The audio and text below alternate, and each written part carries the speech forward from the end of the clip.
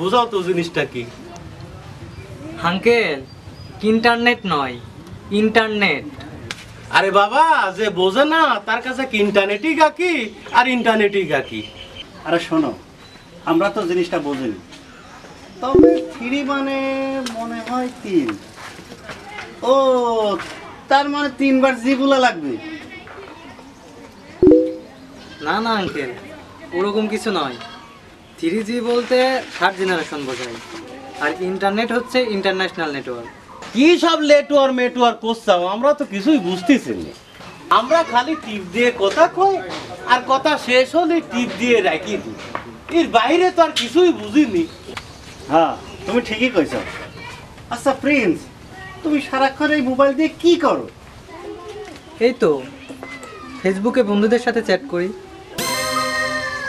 হ্যাঁ আমরা বুঝিনি বলি। তোমার কাছে জানতে চাচ্ছি, তাই তুমি গালাগালি পারবি? তুমি আর আমার গ্রামের ওই সেরা সাথী, তোমরা যে কি স্বভাবের হইছাও সাথী যেরকম মেয়ে মানুষ হয়, সাইকেলে বাজারে যায়, কোনো লজ্জা সরম নাই। তোমার মতো শিক্ষিত সবাল কি লজ্জার মাথা খাইছাও একটা জিনিস শান্তি চাই আরে বাবা বলবি না বললি তাই বলি গালাগালি করা লাগবে। আরে আমরা মূর্খ মানুষ। এরকম গালাগালি আমরা করতে পারি। কিন্তু তোমার মতন শিক্ষিত সওয়ালের মুখে গালাগালি শোভা পায় না। আঙ্কেল আমি তো কিছুই বুঝতে পারছি না। আমি আবার গালাগালি করলাম কখন? কে? আমার দুজন স্যাট দেখাইলি আবার বলছো কখন গালাগালি করলাম? ও আসলে এই বিষয়। আঙ্কেল এই চ্যাট সেই চ্যাট নয়। এই চ্যাট হচ্ছে একজন আরেকজনের সঙ্গে লিখে লিখে গল্প করা। দুনিয়ায় এত নাম থাকতি, এই নাম দেয়া লাগবি? আরে বাদ দাও তো এসব। আজকে তো আমার সাথী স্যাং দেখা যাচ্ছে না। নাকি ঢাকা ভাইয়ের কাছে চলে গেছে।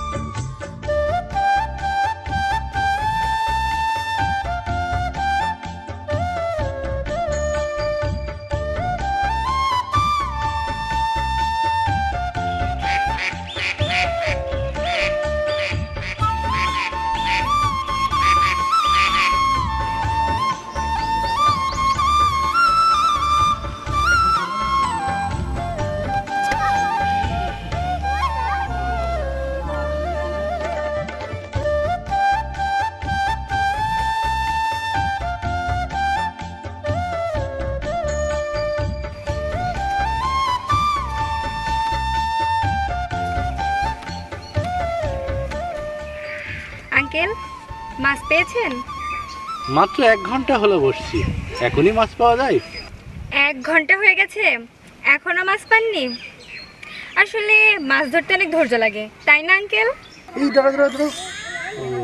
দেখছ? তুমি এসেছ আর মাছ কাছে চলে এসেছ।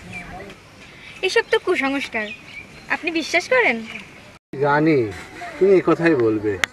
শিক্ষার আলো থাকলে এই কথা কেউ বিশ্বাস করে না। আঙ্কেল প্রিন্স ভাইয়াকে একটু দরকার ছিল। এখন কি বাড়িতে আছে? ও তো মনে হয় বদরুলের দোকানে গেছে। ও তাই?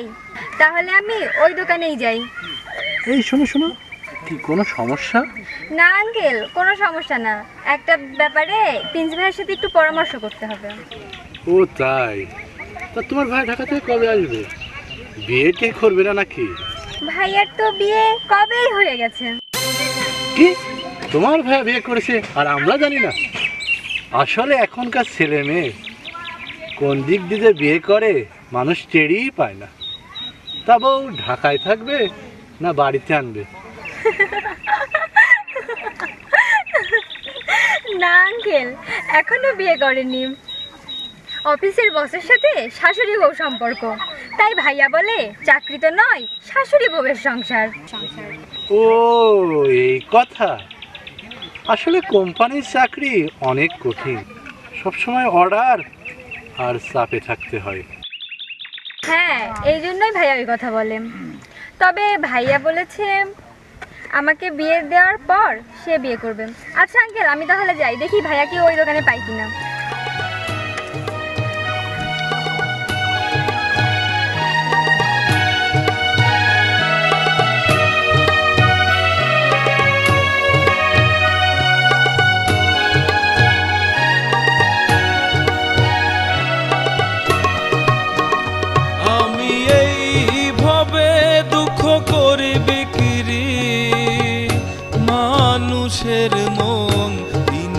ষাট ডিগ্রি।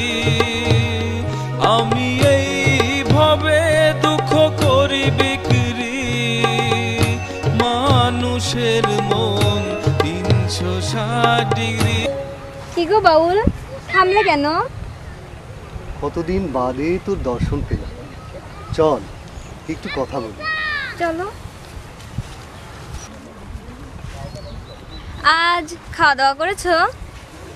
তুই তো জানিস রে মা এভাবে ঘুরতে ঘুরতে যখনই কোথাও গিয়ে আমার ক্ষুধা লাগে তখনই কারোর কাছ থেকে খাবার চেয়ে খাই আচ্ছা বাউল কেউ তোমাকে টাকা দিলে তুমি নিতে চাও না।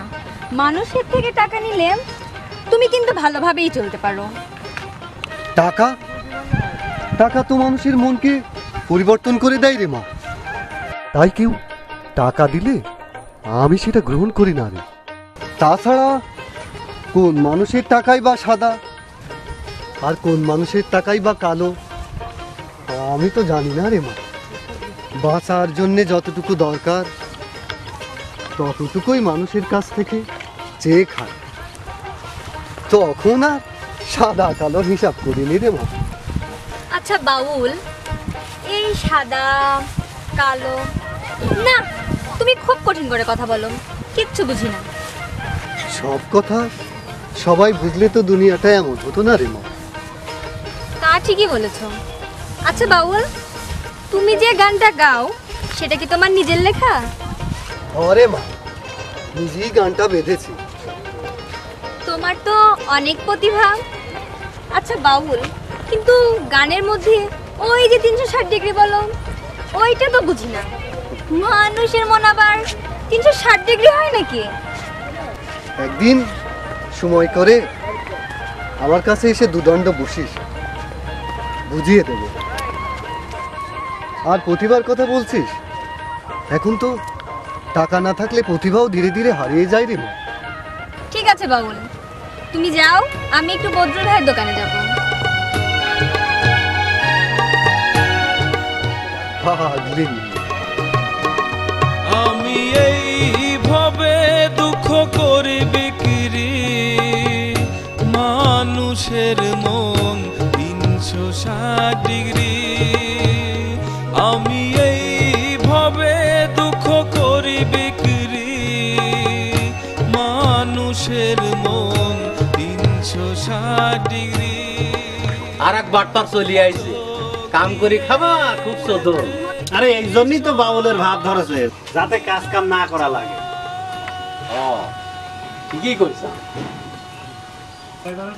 কেমন আছে সাথে? হ্যাঁ ভালো। প্রিন্স ভাইয়া তোমাকেই তো খুঁজছি। আঙ্কেল আমার নাম্বারে টাকা ফ্লেক্সি করে দিন তো আর লিখে রাখেন। ভাইয়া টাকা পাঠালে আপনাকে দিয়ে দিব।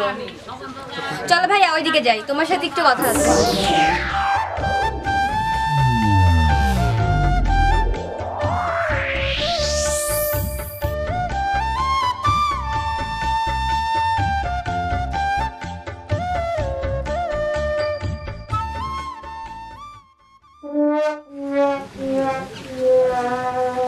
দেখিস আমরা এখানে বসে থাকতেও হাত ধরে নিয়ে চলে গেল।